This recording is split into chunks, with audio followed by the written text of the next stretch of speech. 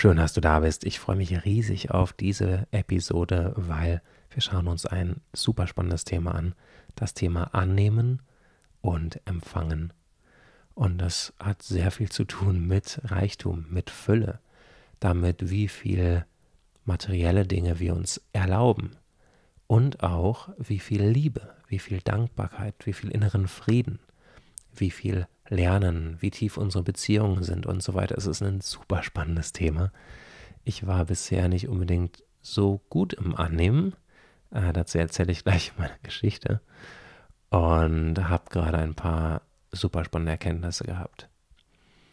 Wie du wahrscheinlich weißt, bin ich seit 2011 selbstständig. Ich hatte nie einen, eine Festanstellung. Hatte einmal einen Nebenjob beim Fernsehen als Kameramann. Das war alles. Und ich ja, arbeite sehr viel. Also ein Großteil meiner wachen Zeit bin ich mit Arbeit beschäftigt und am Überlegen, welche nächsten Videos drehe ich, welche Meditationen. Ich habe Kunden, leite Workshops und so weiter. Und es macht mir super viel Spaß. Und gleichzeitig habe ich mich irgendwann gefragt, hm, das ist komisch. Also so viel wie ich arbeite, ich kenne andere Menschen, die verdienen wesentlich mehr Geld, die haben viel mehr finanzielle Mittel zur Verfügung und die arbeiten wesentlich weniger.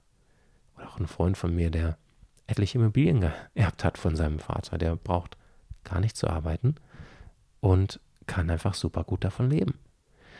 Und so habe ich mich dann mal hingesetzt und mir angeschaut, was liegt denn dahinter? Warum fällt es mir schwer anzunehmen? Und vielleicht kennst du das auch, dass es dir sehr leicht fällt, viel zu geben, dass du immer gerne Menschen eine Freude machst und Sachen verschenkst. Aber wenn dir jemand auch nur ein Kompliment macht, geschweige denn dir ein Geschenk macht oder ein größeres Geschenk, huh, da passiert dann wahrscheinlich in, etwas in dir. Du fängst an, dich zusammenzuziehen, es fühlt sich eklig an und ah, irgendwas in dir wehrt sich dagegen. Und du versuchst es abzulehnen oder wenn es ein Kompliment ist, das runterzuspielen und zu sagen, ach nee, kann ja jeder.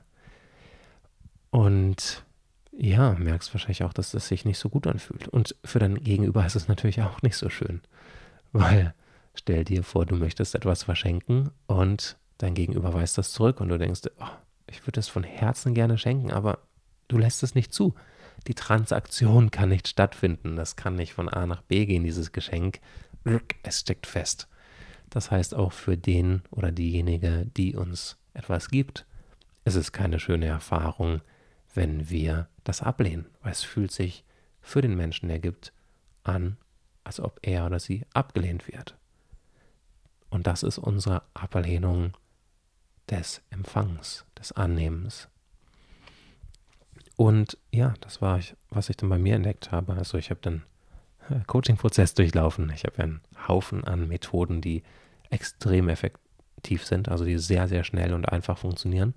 Und das auch meistens, ohne dass man sich jetzt ewig mit negativen Gefühlen rumquälen muss, sondern es ist eher, es löst den Druck, den wir in uns spüren, auf. Es ist ein Ende des Leidens, ein Ende des äh, irgendwas stimmt da nicht, ich kämpfe gegen mich selbst, ich weiß auch nicht, was ich tue und ja, ich verstricke mich immer mehr oder ich, ich weiß einfach keinen Ausweg. Das heißt, in dem Moment ist meine Erfahrung, wo wir hinschauen und das auf eine zielgerichtete Art und Weise kann sich endlich der ganze gordische Knoten lösen oder der Staudamm, der das Wasser blockiert im Fluss, kann endlich schmilzen und das Wasser kann beginnen zu fließen. Und endlich gibt es unterhalb des Staudamms wieder Wasser für die Fische und äh, die umliegenden Dörfer. Und oberhalb des Staudamms gibt es endlich keine Überschwemmung mehr. Und der Fluss nimmt seinen natürlichen Lauf von Quelle bis zum Ozean. Und es ist harmonisch, es ist kein Druck mehr da. Das ist das, was ich immer wieder feststelle, wenn ich mir ein Thema anschaue, egal wie viel Widerstand und Ablehnung ich vorher hatte. Genau, und in Bezug auf Annehmen und Empfangen, als ich hingeschaut habe, und das kannst du auch machen, dir auch zwischendurch Zeit nehmen, einfach pausieren, diesen Podcast und das auf dich übertragen, weil jeder Mensch ist unterschiedlich, ganz wichtig, was ich sage, trifft vielleicht für dich überhaupt nicht zu. Genau, ich habe mich gefragt, was, was würde denn passieren, wenn ich annehme? Wie würde sich das anfühlen? Was sind meine Assoziationen, meine Annahmen, was annehmen bedeutet? Und ganz schnell kam, naja, wenn mir jemand was gibt, dann muss ich was zurückgeben. Und je mehr ich gerne hätte, desto mehr muss ich geben. Und es ist so viel Stress. Ich arbeite jetzt schon so viel. So viel kann ich gar nicht geben. Also kann ich auch nichts annehmen. Interessanter Punkt. Da steckt die Annahme drin. Immer wenn ich was annehme, muss ich auch was geben. Da dachte ich mir, ist ja spannend, weil es sind ja eigentlich zwei Sachen, annehmen und geben. Ich könnte es ja auch umdrehen und sagen, immer wenn ich was gebe, muss ich auch was annehmen. Oder immer wenn ich was gebe, dann kommt was zurück. Ich habe gemerkt, das habe ich überhaupt nicht auf dem Schirm, wenn ich arbeite, wenn ich zum Beispiel Videos drehe oder diese Podcast-Folge mache und einfach in die Welt gebe, weil es mir einfach Spaß macht. Das ist auch ein ganz wichtiger Punkt. Mich erfüllt es unglaublich zu geben. Es ist mit einer der schönsten Sachen, die ich mir vorstellen kann, andere Menschen zu unterstützen. Und deswegen mache ich das. Und das fühlt sich super gut an. Und es war dann bisher eher so, dass es teilweise ein Stress für mich war, etwas anzunehmen. Dass ich mich dann selbst blockiert habe, merke ich auch gerade erst, wo ich das ausspreche, dass ich dachte, Hilfe, wenn ich jetzt noch mehr gebe, dann fangen noch mehr Menschen an, mir was zurückgeben zu wollen. Ah, dann lasse ich das lieber. Kann ich das nicht einfach so geben, dass, dass nichts zurückkommt? Wie kann ich das machen? Und davon kann ich auch nicht leben. Also du siehst, es war ein relativ großer Konflikt, sage ich mal. Ich bin froh, dass das durch ist. Ich hoffe, dass es durch ist. Genau, aber dieser Punkt mit annehmen bedeutet, potenziell kommt was zurück. Und da kannst du auch mal für dich hinschauen. Kann es sein, dass du manchmal nicht mehr gibst, weil du Angst hast, dass dir dann Menschen etwas zurückgeben wollen oder dass andere Menschen das Gefühl haben, in deiner Schuld zu stehen? Äh, kann auch ein Punkt sein. Schuld kommen wir später auch nochmal drauf zurück. Genau, das heißt, erste Sache, was, wenn ich einfach nur annehmen kann, ohne was geben zu müssen? Das kam dann bei mir als Frage. Was, wenn ich, was, wenn das okay wäre? Und ja, spannenderweise habe ich dazu auch schon verschiedene Sachen erlebt. Äh, zum Beispiel wurde mir mal ein Haus anschenkt. Davor hatte ich auch übrigens eine Übung gemacht, habe äh, verkörpert, Geld ist wie Sauerstoff und schwupp, wenige Stunden später war dieses Haus da. Äh, ist eine andere Geschichte. Und neulich habe ich eine Unze Gold geschenkt bekommen. Und falls äh, der Mensch, der mir die Geschenkte das hört, äh, nochmal herzlichen Dank. Das war so eine wunderschöne Erfahrung. Auch, also es war ein Coaching-Plan von mir und es ist was Tolles passiert in ihrem Leben. Und da war die Dankbarkeit so groß, dass eine Unse Gold den Weg zu mir gefangen hat. Und es war so ein schönes Gefühl, kann ich dir sagen. Ich habe dieses Geschenk auch physisch in die Hand bekommen. Ich da wusste nicht, was es ist. Ich war leicht äh, aufgeregt, neugierig. Ich wusste, ich bekomme ein Geschenk. Hat das geöffnet und dann war da eine Unze Gold. Und das sind, äh, sind und genau, falls du nicht weißt, wie viele es sind, sind um die circa 30 Gramm. Aktueller Marktwert zweieinhalbtausend Euro. Und in dem Moment hat sich das einfach gut angefühlt. Ich habe gespürt, wie dieser Mensch mir das gerne schenken wollte. Und bei Gold kann ich es irgendwie gut annehmen. Ich weiß nicht, ich mag Gold sehr, sehr gerne. Und das war einfach so ein Moment der Freude und, und des innerlichen Jubelns und des Berührtseins und der Dankbarkeit, weil ich auch wusste, das ist ein, ein Geschenk, was ich bekomme, weil wir etwas erreicht haben gemeinsam, weil da ganz viel in ihrem Leben passiert ist. Sehr, sehr Positives. Und in dem Moment war dieses Gefühl der Dankbarkeit einfach so wunderschön. Also es war, es hat mich so tief erfüllt und berührt. Und da war es was total Schönes, das anzunehmen und das annehmen zu können. Genau, deswegen das auch als eine Referenzerfahrung oder auch eine Sache, wo du schauen kannst, hast du Referenzerfahrungen Gab es mal Momente in deinem Leben, wo du gut annehmen konntest? Und es kann auch eine Kleinigkeit sein, sowas wie du hast einem Sonnenuntergang zugeschaut oder beobachtet und es einfach genossen, dieses Geschenk, diesen Moment zu erleben, diesen Sonnenuntergang bewusst wahrzunehmen und das zu empfangen, dieses Gefühl, was dadurch entsteht oder das Gefühl zum Beispiel der Dankbarkeit oder Liebe. Zu spüren, dass jemand dich liebt, dass sich jemand um dich kümmert.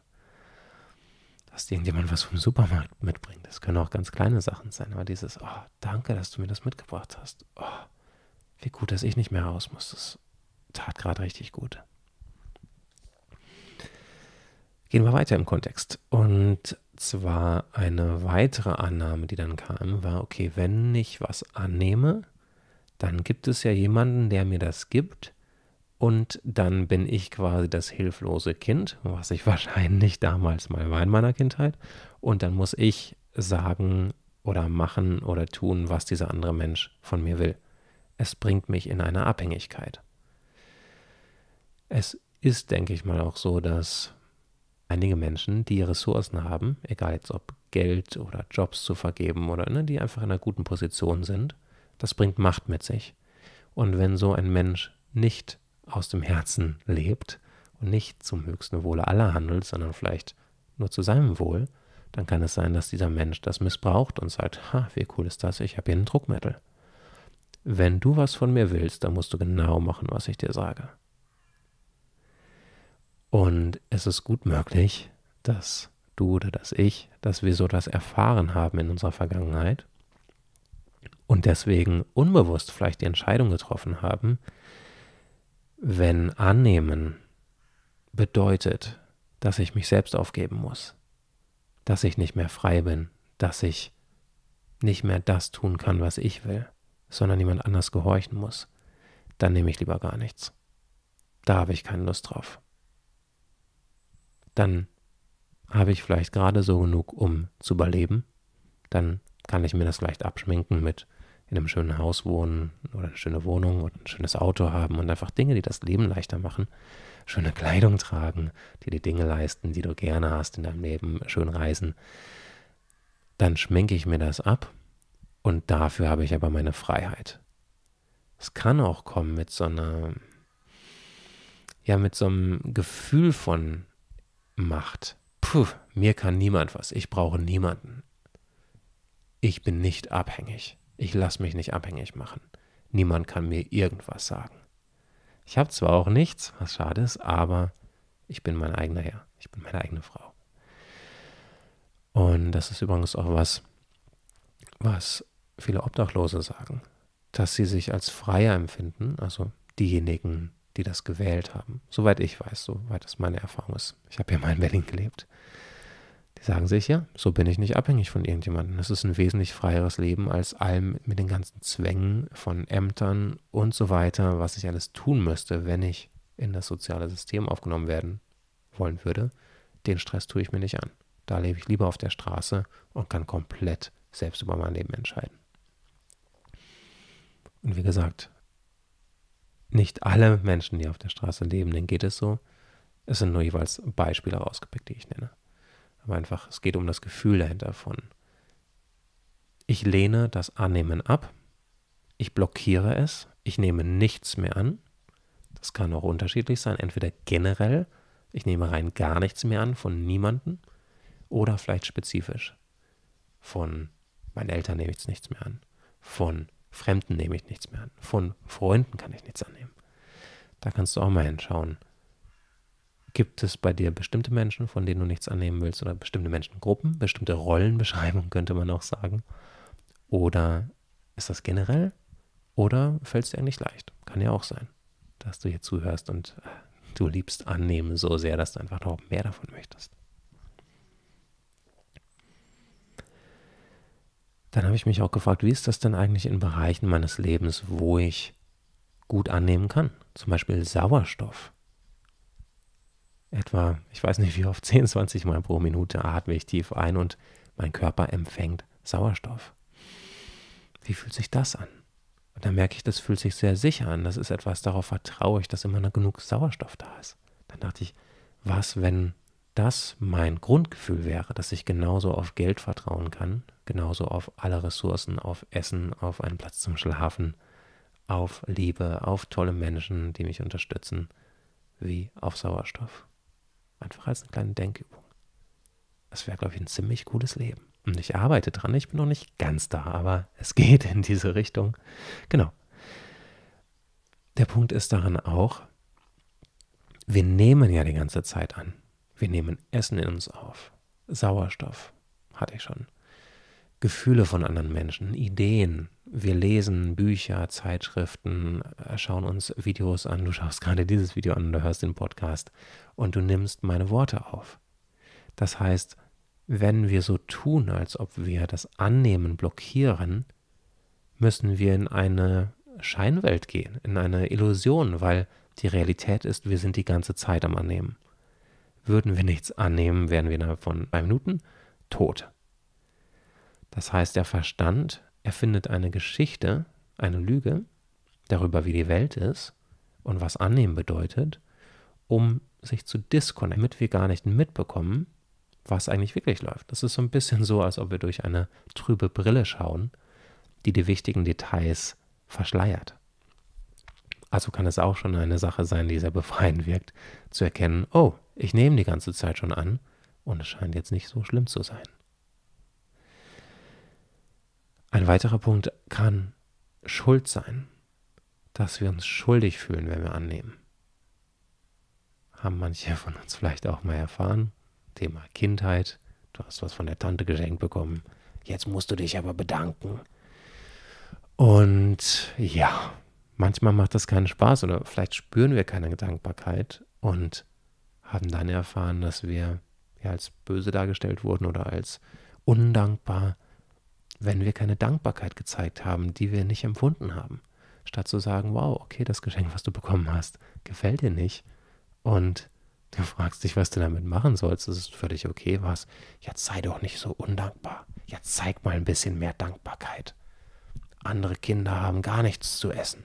Jetzt freu dich mal darüber. Das heißt, es macht natürlich keinen Spaß, wenn man das verinnerlicht, dass Empfangen bedeutet, dass diese inneren Stimmen wieder losgehen, dass ich mich daran erinnere, falls das in meinem Leben passiert ist. Hatte ich jetzt zum Glück nicht, deswegen bin ich da sehr froh, genau, weil ich weiß, dass es äh, ein Thema sein kann. Ein weiterer Punkt ist, dass Annehmen oder das Gefühl, die Idee anzunehmen, zu Trennung führt. Und das ist ein bisschen komplexer, deswegen gehe ich ein bisschen tiefer hier drauf ein. Wir können es so sagen. Stell dir einen Ozean vor und da fließt einfach Wasser hin und her. Es ist ein Ozean, es ist ein großer Teich, es ist viel Wasser. Da gibt es keinen Bereich A des Ozeans und Bereich B. Und jetzt gibt Bereich A, Bereich B Wasser, eine bestimmte Menge. Und der andere Anteil oder der andere Teil ist dankbar und empfängt das. So funktioniert das nicht. Das Wasser fließt einfach, da ist Flow.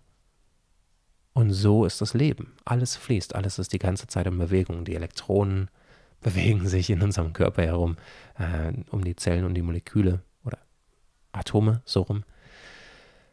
Luft fließt durch die Luft. Luft fließt durch die Luft, ja. Äh, du merkst, es ist schon Freitagabend und das ist das Letzte, was ich gerade mache, diese Folge aufzunehmen. Ich wollte das noch unbedingt machen, weil ich weiß, am Montag habe ich es vergessen. Bei mir ist immer so, wenn eine Inspiration kommt, ich muss sofort zum Mikrofon oder der Kamera greifen, sonst ist das Ding weg und ja, quasi auf immer verloren. Das war mir zu wichtig als Thema. Ja, deswegen ist mein Sport gerade ein bisschen auf äh, hinten verschoben. Und die Luft fließt durch die Luft. Genau, also die Luft fließt einfach, Wasser fließt, Strom fließt, alles ist in Bewegung. Und auch wir sind in Bewegung, unser Körper ist in Bewegung. Wir atmen ein und aus und so weiter. Und gleichzeitig haben wir diese Idee, dass wir getrennt sind vom Rest der Welt. Hier ist Thomas. Ich bin separat vom Universum, von der ganzen Welt. Kurz außerhalb meines Körpers fängt die Welt an und um mich herum ist es so wie ausgeschnitten. Ne? Da sitze ich hier und dann gibt es die Welt. Es gibt die Welt und mich. Und wenn ich einen anderen Menschen sehe, dann ist er auch Teil der Welt. Nur ich bin nicht Teil der Welt. So kommt uns das manchmal vor, meistens unbewusst. Das heißt, wir haben die Idee, da ist ein Ich, auf der anderen Seite ein Ego, ein getrenntes Ich, ein Mensch, und der gibt mir etwas und ich bin auch getrennt. Da denken wir nicht, hm, das ist wie im Ozean, also hier sind zwei Körper, aber die sind Teil des großen Ganzen. So ein bisschen so wie zwei Körperzellen in unserem Körper auch nicht sagen würden, oh, du gehörst du gehörst nicht dazu. Du bist da drüben, ich bin hier und jetzt kommt hier äh, der Sauerstoff durch die Blutbahn.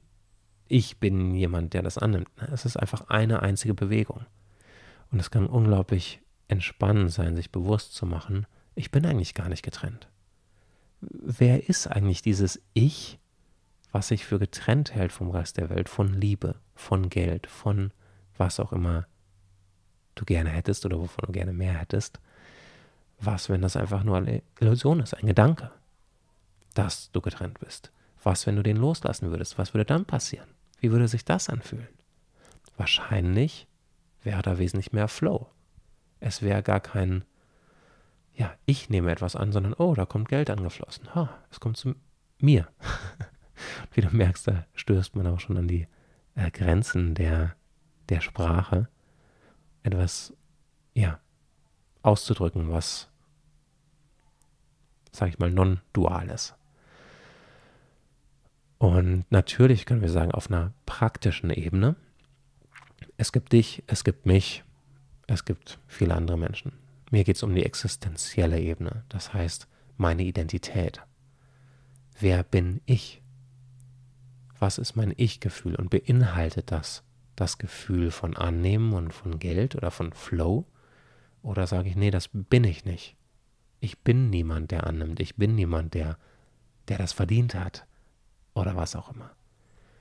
Und wenn wir auf dieser Identitätsebene ansetzen, die sehr tief geht, oder es auf die tiefste Ebene zu schauen, wer bin ich? Bin ich jemand, der gerne gibt? Bin ich jemand, der gerne annimmt?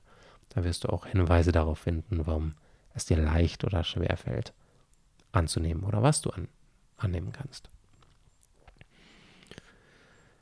Was ich immer wieder merke in meiner Arbeit ist, dass wenn ich mir Sachen in mir anschaue und verstehe, welche Glaubenssätze da sind, welche Annahmen ich habe übers Leben, auch was welche Gefühle auslöst und wie dieses Innenleben funktioniert, allein dadurch, dass ich ja da mit der Lupe quasi äh, hinschaue und Sachen finde in mir, die mir, die vorher unbewusst waren. Dadurch entsteht Freiheit.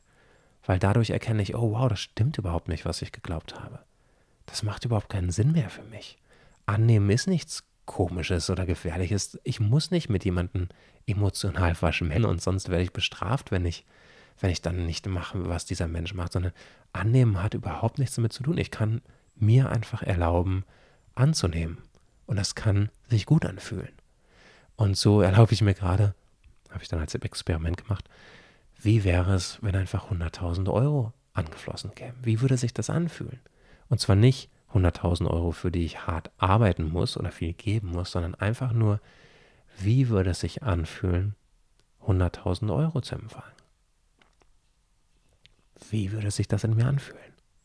Und wenn ich dagegen Widerstand habe, naja, dann brauche ich auch nicht versuchen, hart zu arbeiten, um dann dieser 100.000 Euro würdig zu sein. Weil ich werde sie wahrscheinlich trotzdem blockieren und ablehnen und das Gefühl haben, ich muss noch viel mehr geben, als ich, als ich das eh schon tue. Es ist nicht genug, ich bin nicht genug, ich bin wertlos und so weiter. Das heißt, dieses Thema Annehmen führt uns an so viele schöne innere Stellen in uns, wo, ich würde es mal sagen, mehr Liebe hinkommen darf, wo wir erkennen dürfen, dass diese Sätze, diese Annahmen, die da sind und vielleicht das, was mal in unserer Vergangenheit passiert ist, wo wir uns selbst blockiert haben, wo wir Erlebnisse hatten, die nicht so schön waren, wo wir Gedanken und Ideen übernommen haben von vielleicht damals Erwachsenen oder Menschen, die mehr vermeintliche Macht oder ja, was auch immer als wir hatten und uns bewusst zu werden, dass das alles nur Gedanken sind. Wir machen das selbst in unserem Kopf und in unserem Körper. Und deswegen können wir auch was daran ändern. Und ich finde es jedes Mal so faszinierend. Wie gesagt, neulich kam diese Unze Gold vorbei. Spannenderweise, das habe ich nicht erzählt, habe ich eine oder zwei Wochen vorher mir vorgestellt, wie es wäre, ganz viel Gold zu empfangen. Und das gleiche war mit dem Haus, was mir angeboten wurde. Da habe ich wenige Stunden vorher eine Übung gemacht, um zu verkörpern, dass Geld wie Sauerstoff zu mir fließt. Und ich finde es so faszinierend. Wie gesagt, es geht nicht unbedingt immer so schnell. Ich finde es nur spannend, dass ich inzwischen immer wieder die Erfahrung mache, dass wenn sich in mir etwas ändert, wenn ich den Quellcode der Programme, die in mir gespeichert sind, umschreibe und dann auf Speichern drücke, dass dann die Programme, die laufen, anders sind, die Computerprogramme, und dass das zu anderen Ergebnissen führt, die ich auf dem Bildschirm oder der Leinwand des Lebens angezeigt bekomme. Und im Alter können wir das oft vergessen und denken, ich muss einfach tun, ich muss machen. So ändert man Realität. Und oft ist es ein Kämpfen gegen das, was wir unbewusst glauben. Wir kämpfen gegen unsere eigenen Überzeugungen und deswegen ist es auch so anstrengend. Dabei ist es mühelos, wenn wir uns erlauben, anzunehmen. Das heißt nicht, dass wir nichts mehr tun dafür. Wie gesagt, ich liebe es zu arbeiten. Ich würde nie, selbst wenn du mir 100 Millionen geben würdest, morgen aufstehen und genauso weitermachen. Vielleicht würde ich mir ab und zu ein bisschen mehr was gönnen, was mir gut tun würde. Ähm, aber so viel wird sich praktisch nicht ändern. Ich werde wahrscheinlich überlegen, hm, was kann ich damit anfangen? Was kann ich zurückgeben? Wie kann, ich hätte super viel Lust, Urwald aufzuforsten, tolle Projekte zu unterstützen. Also in diese Richtung fange ich dann an zu denken, so wow, wie kann ich dieses Geld einsetzen zum Wohle der Menschheit? Was wäre der, der schlauste Weg, das zu machen? Wie können wir Urwald anbauen?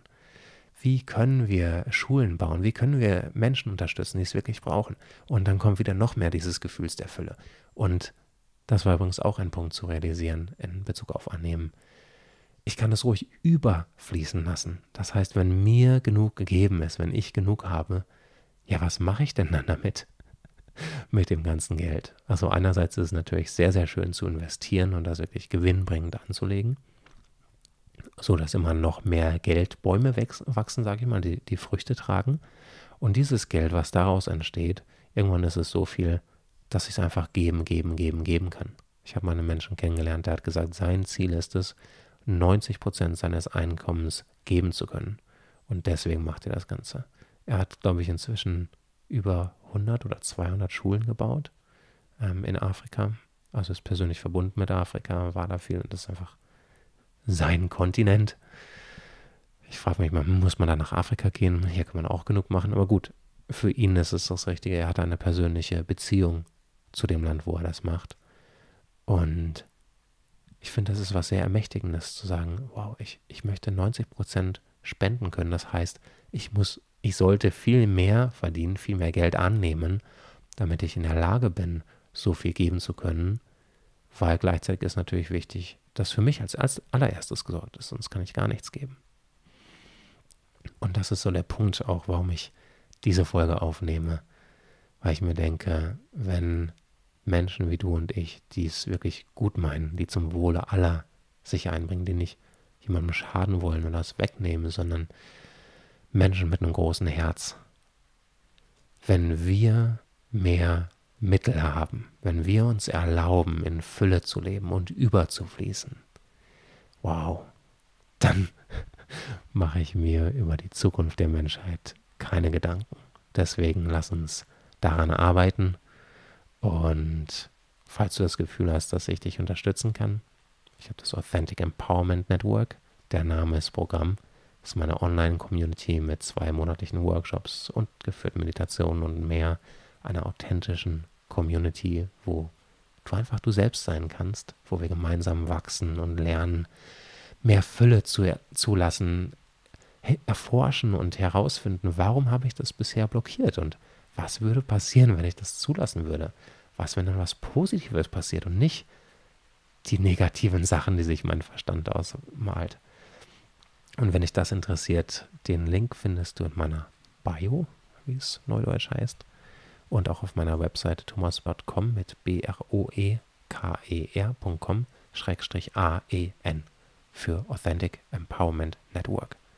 Und ich habe auch zurzeit ein paar Einzelcoaching-Plätze das ist die intensivste und direkteste, schnellste Art, mit mir zu arbeiten oder die schnellste Art, um größere Ergebnisse zu bekommen.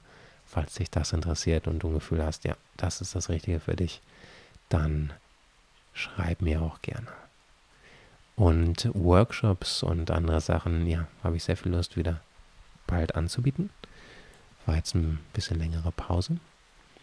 Aber jetzt, weil ich sagen, gehe ich jetzt mal ins Wochenende. Ich würde mich riesig freuen, von dir zu hören und auch wenn dir diese Folge gefallen hat, teile sie bitte mit anderen. Denn je mehr Menschen, ja, wie du und ich, Menschen mit Herz aufwachen und erkennen, wie wertvoll sie sind, desto schöner wird's. Und inzwischen habe ich übrigens auch ein, eine Möglichkeit eingerichtet, mir was zurückzugeben, gerade heute. Nennt sich buymeacoffee.com. Der Link ist auch in meiner Bio oder in meinem, auf meiner Shortlink-Seite. Das heißt, wenn du das Gefühl hast, du möchtest mir was zurückgeben, aber jetzt bin ich herzlich bereit, herzlich gerne bereit, das auch anzunehmen mit einem großen, freudigen, strahlenden Herzen.